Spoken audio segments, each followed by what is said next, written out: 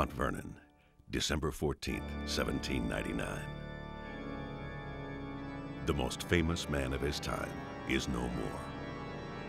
George Washington is dead. His wife Martha was so distraught that she left his chamber forever and never set foot in it again. In fact, she could not even bring herself to attend her husband's funeral.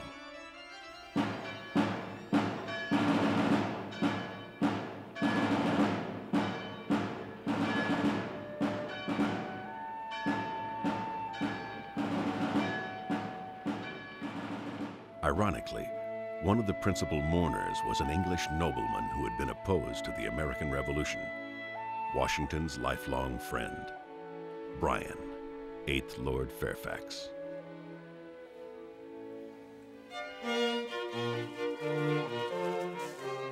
Washington's friendship with the Fairfax family began 50 years earlier. Bryan's kinsman was Thomas, 6th Lord Fairfax, Baron of Cameron, whose ancestral home was at Leeds Castle in England. Lord Fairfax was the proprietor of a vast domain in Virginia that had been originally granted to his family by King Charles II in 1649. The Northern Neck, as it was called, was composed of over 5 million acres of land that lay between the Rappahannock and Potomac rivers, stretching into what is now West Virginia. All in all, it was about a fifth of the entire colony of Virginia. In 1733, Lord Fairfax arranged for his cousin, William Fairfax, to serve as his land agent in Virginia. Land in the proprietary was granted to tenants, indentured servants who had gained their freedom, and other land agents.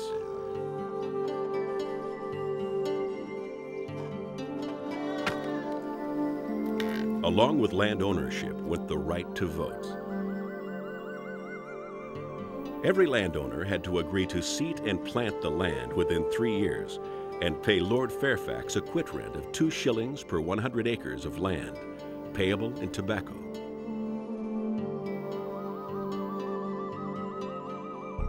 Black slaves were the main source of labor and accounted for about 30% of the population.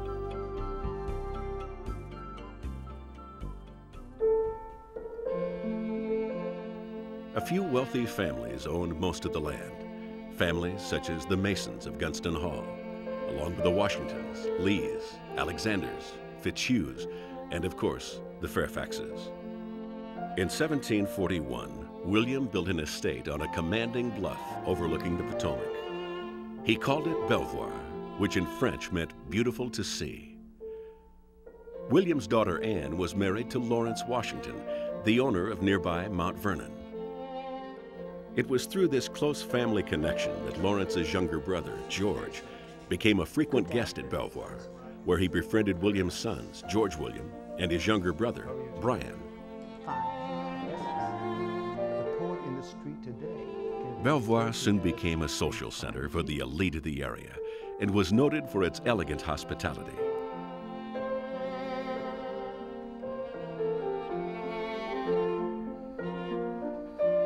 Here, George Washington learned the manners of an English gentleman. He was schooled in the social graces and the art of polite conversation.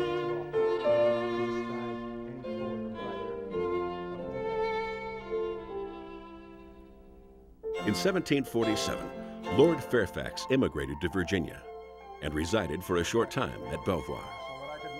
Fresh from London, his lordship was full of news about the mother country. This was a real education for a boy who had not been schooled in England, as was the custom for many of the colonial gentry at the time. The Fairfaxes were impressed with young George. He was tall, strong, and adventurous. In 1748, Lord Fairfax gave Washington one of his first jobs. Along with his friend George William, Washington worked as an assistant to a team of surveyors who were mapping the boundaries of Lord Fairfax's proprietary in the Shenandoah Valley. In 1752, tragedy struck Washington. His beloved brother Lawrence died of tuberculosis. Eventually, he inherited Mount Vernon.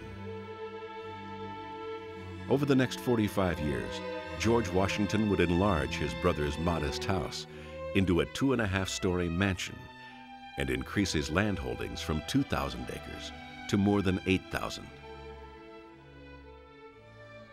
Washington's close relationship with the Fairfax family opened many doors for him. With their help, Washington followed in Lawrence's footsteps and secured an appointment as an officer in the Virginia militia. In return, Washington later found a position in the militia for the 17-year-old Bryan. The boy was ill-suited for the military. While standing sentinel one night on the frontier, he had a strong religious experience a prelude to his calling as a clergyman later in life.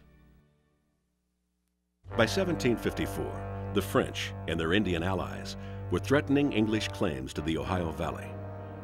In response, Virginia Governor Dinwiddie dispatched Washington and some colonial militia to fortify the forks of the Ohio River at what is now Pittsburgh. When he arrived at the scene, Washington discovered the French were already fortifying the forks. He pulled back and established a small outpost he called Fort Necessity.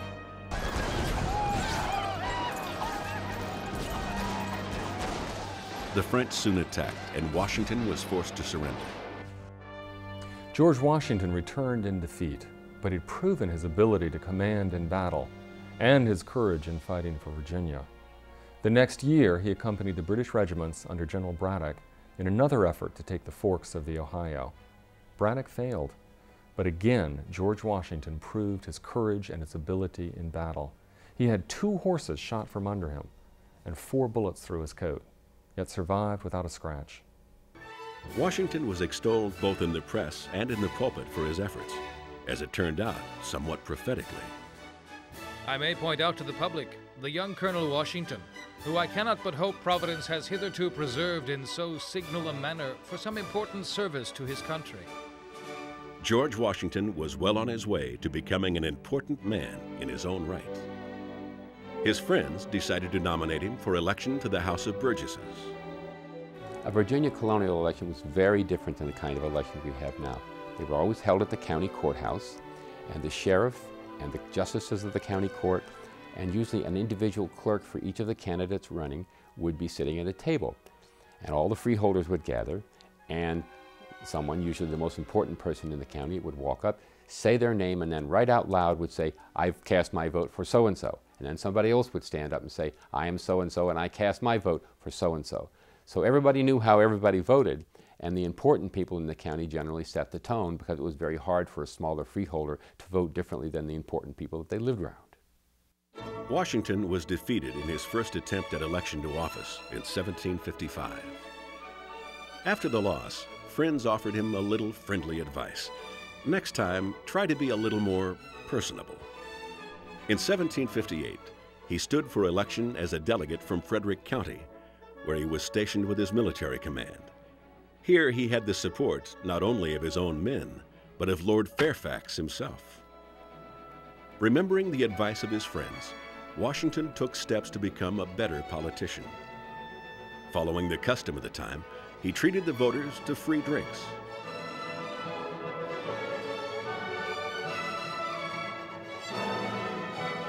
Washington won the election and took his seat in the House of Burgesses, along with his neighbor, George Mason of Gunston Hall. Mason was a learned man, respected for his knowledge of the law and classics, and would become Washington's valued friend and colleague in the years to come.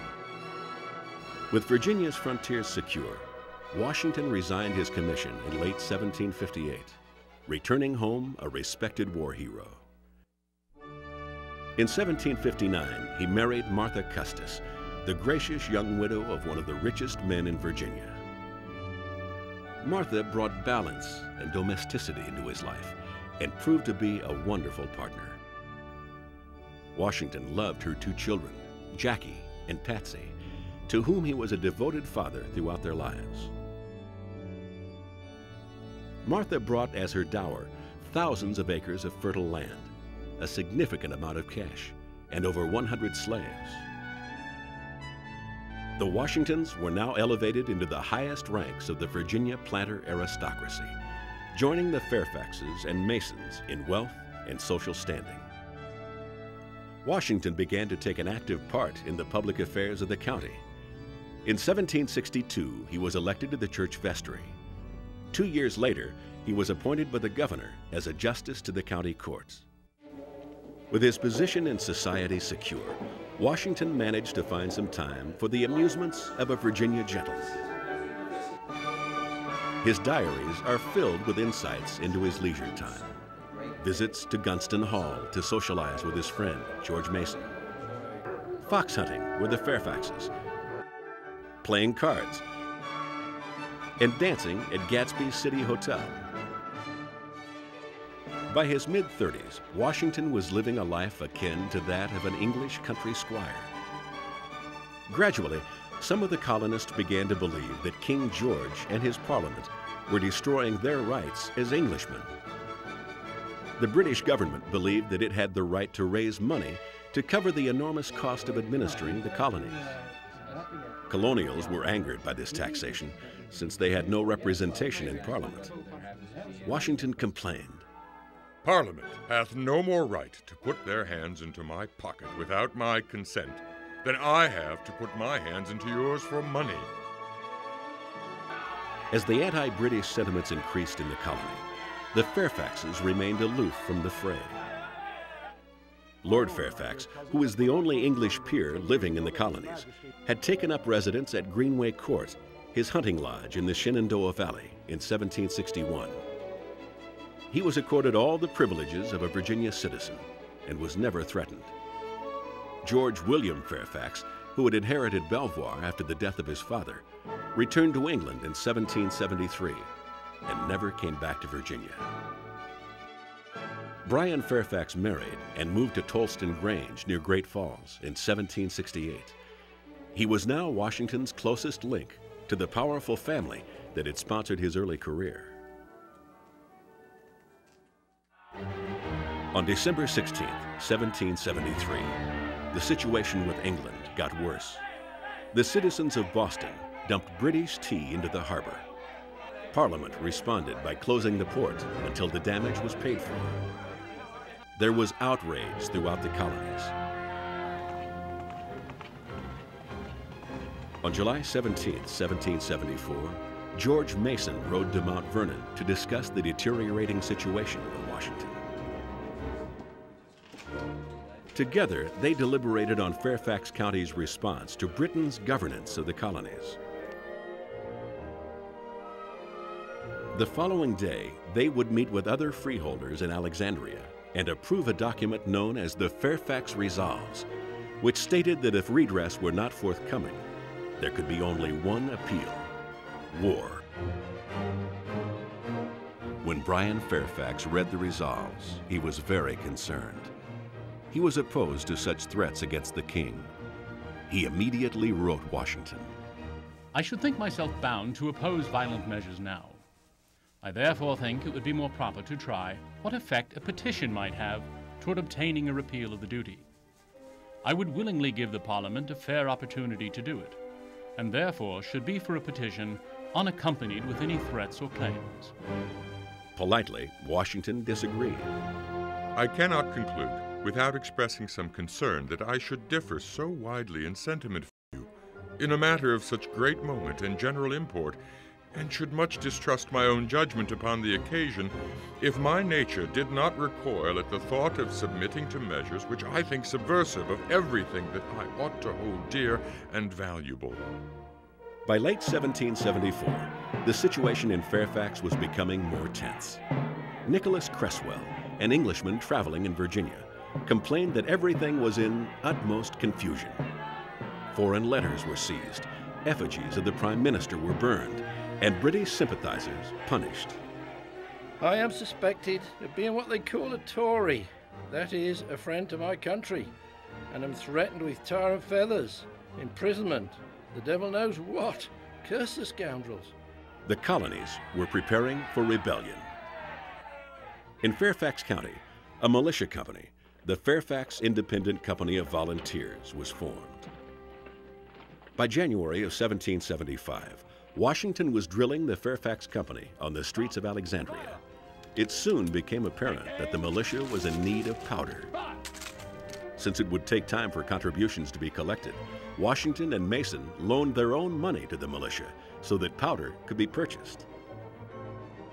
On April 19, 1775, Washington was at Mount Vernon, preparing to set out for Philadelphia as a delegate to the Second Continental Congress, when he received news of the battles at Lexington and Concord. Bryan Fairfax and Major Horatio Gates were his guests at the time. Fairfax deplored the upcoming conflict. He foresaw that it would array his dearest friends against the British government to which he was loyally attached and resolved to adhere. The revolution had begun.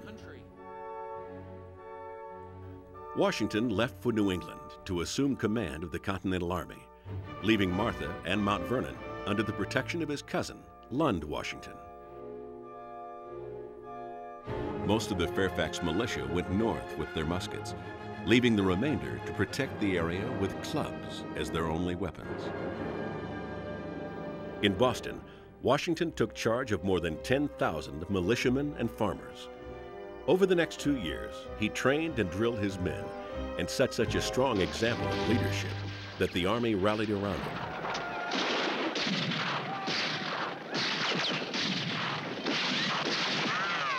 Washington's determination and vision would eventually turn his men into the best fighters in the world. In early February 1776, George Mason was empowered by the Committee of Safety to assemble a small fleet to protect Alexandria and the estates along the river from an attack by British ships. Mason was called to further service by the Virginia Convention in Williamsburg. He was appointed to a committee to create a Declaration of Rights. George Mason, in drafting it, pointed out specific and collective rights that governments were bound to respect. George Mason marshals strong evidence, powerful arguments in support of natural law, guaranteeing the rights of individuals that were important to the existence of people in the 1770s and 80s as they are today. Mason then set to work on a written constitution for Virginia. A written constitution to restrain and control the government that operated under it was a new development to Englishmen, even American Englishmen. Although it was revised before it was adopted on June 29, 1776, this new constitution is fundamentally Mason's work. Throughout the war, Martha Washington went to her husband's camp every winter. She was not only a comfort to him, but she also nursed his men and wrote letters for them. She was a selfless, courageous, and patriotic woman. Despite their differences, George Washington and Bryan Fairfax remained friends. Because of his connections to the British nobility, Fairfax felt he was in an ideal position to be a peacemaker between the two sides. He was on his way to mediate the conflict when he was taken into custody by colonial troops.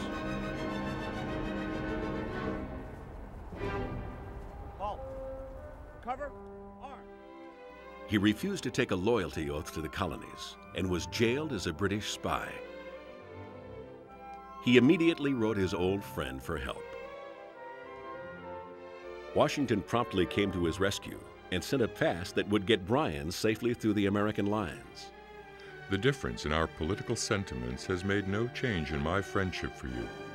I esteem and revere every man who acts from principle as I am persuaded you do, and shall ever contribute my aid to facilitate any inclination you may wish to indulge.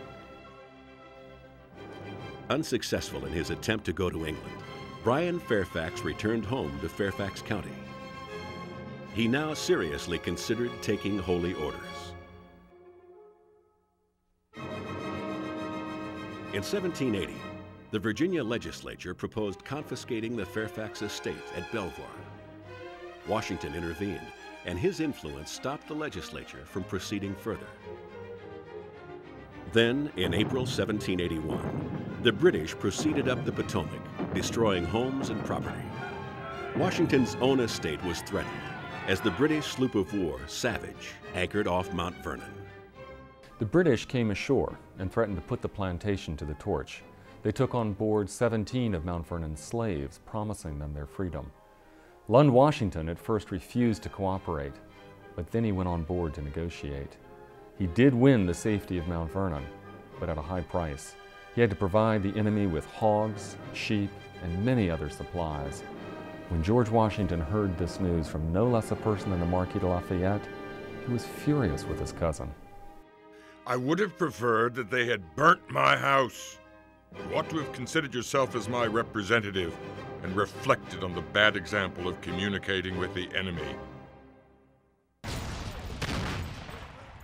In October of 1781, Washington, in a fast and daring move, trapped Lord Cornwallis and 7,000 British troops at Yorktown. With the assistance of his French allies, Washington forced Cornwallis to surrender. The revolution was won. Washington knew that there was no point winning the revolution if its ideals were sacrificed along the way. When some of his men proposed that Washington become king, he refused. When some of his officers formed a plan to march on Congress to demand back pay, Washington stopped them. When the peace treaty was finally concluded, Washington disbanded the army and resigned his commission as commander-in-chief. The world was astonished. Here was a man who could easily have made himself emperor or king. Washington taught the nation that serving the ideals of liberty and the civilian government was a source of honor and pride. After eight years of fighting, the soldiers of the Revolution returned home to Fairfax.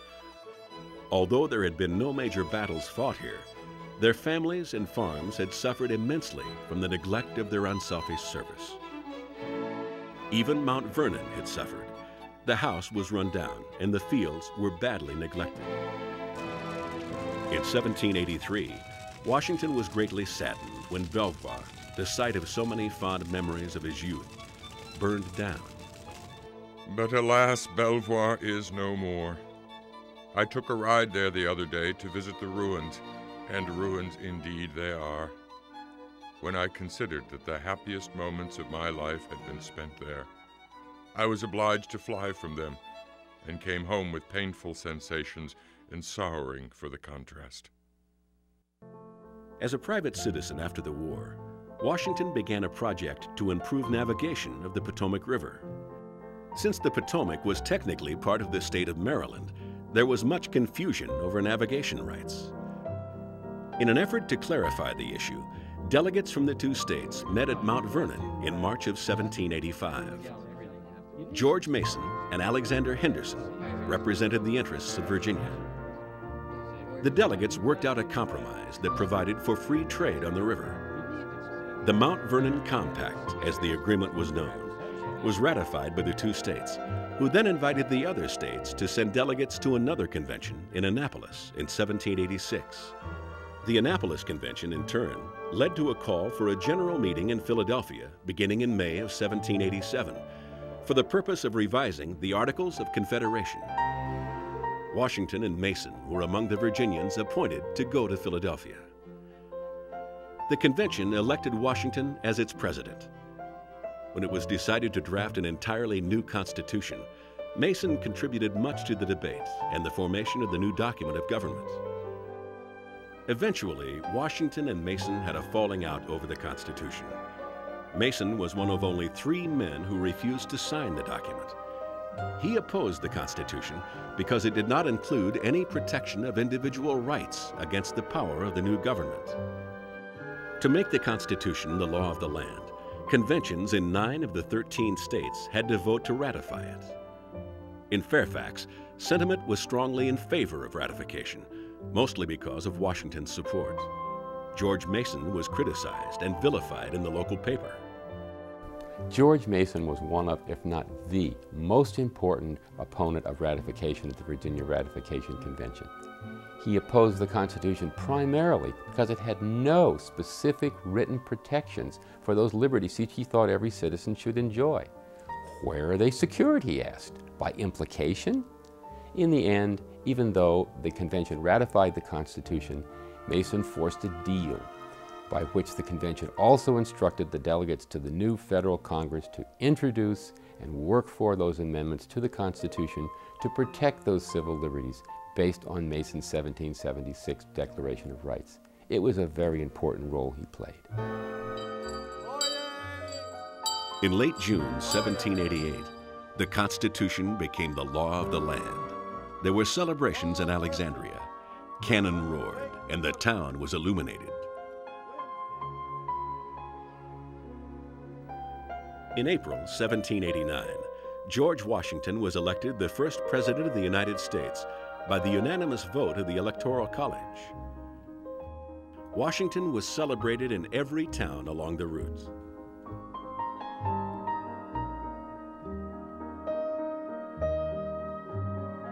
On April 30th, 1789, he was inaugurated at Federal Hall on Wall Street. Mason played no part in the new federal government. He even refused an appointment to represent Virginia in the Senate. In December 1791, however, he had the satisfaction of seeing the Bill of Rights, based in part on his Virginia Declaration of Rights, added to the federal Constitution. Less than a year later, Mason died at Gunston Hall.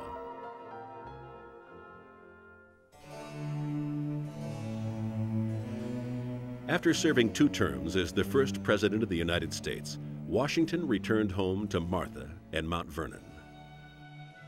His friendship with George Mason was a thing of the past, but his friendship with Bryan Fairfax endured. Bryan had been ordained as a minister in the Episcopal Church of Virginia. He became 8th Lord Fairfax in 1793. To be near his old friend, George Washington, Bryan had built a new house on the outskirts of Alexandria, not too far from Mount Vernon. He called it Mount Eagle, a name perhaps suggested by Washington.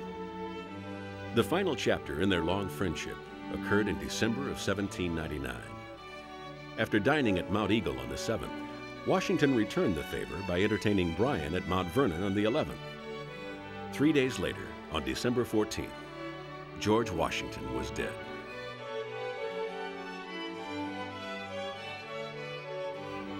In his last will and testament, Washington bequeathed to his old friend, Bryan Fairfax, a ceremonial Bible.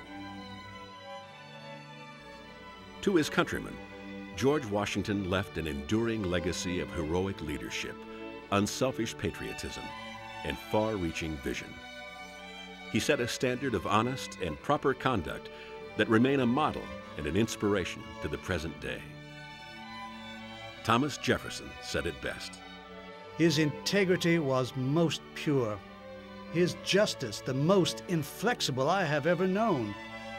He was, indeed, in every sense of the words, a wise, a good, and a great man. On the whole, his character was, in its mass, perfect, in nothing bad in few points indifferent. And it may truly be said that never did nature and fortune combine more perfectly to make a man great, and to place him in the same constellation with whatever worthies have merited from man an everlasting remembrance